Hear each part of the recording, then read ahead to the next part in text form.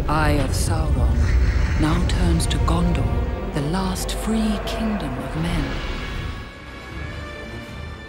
The battle for Middle-earth is just beginning.